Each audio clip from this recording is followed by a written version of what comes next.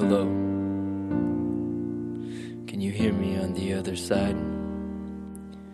Wish I had verbalized that it was not alright to self inflict homicide.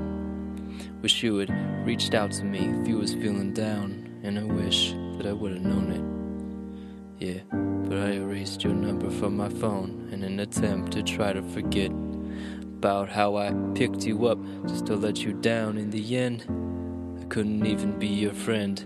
I was so focused on trying to be your man, I didn't plan that the camera lens would lose sight of your smile and capture a sad image. It hurts to admit that I failed to exhibit caution when trying to handle something so delicate. You were so elegant. I turned to jello instead of being solid. I couldn't hold it all together, but I was young and didn't know any better.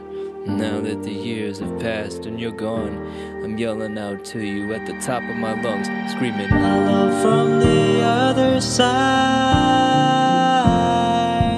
I must have called a thousand times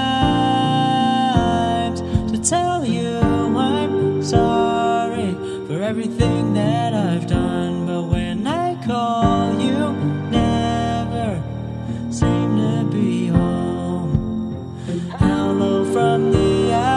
outside. Wish that I could take it back and rewind. At least I can say that I've tried I Keep the pictures in the back of my mind. to tell you I'm sorry for breaking your heart, but it don't matter. It clearly doesn't tear you apart